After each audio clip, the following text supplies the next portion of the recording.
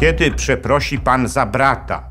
Takie słowa skierował do Adama Michnika, naczelnego Gazety Wyborczej Piotr Janusz Tomasz w 2017 roku na jednym ze spotkań Komitetu Obrony Demokracji.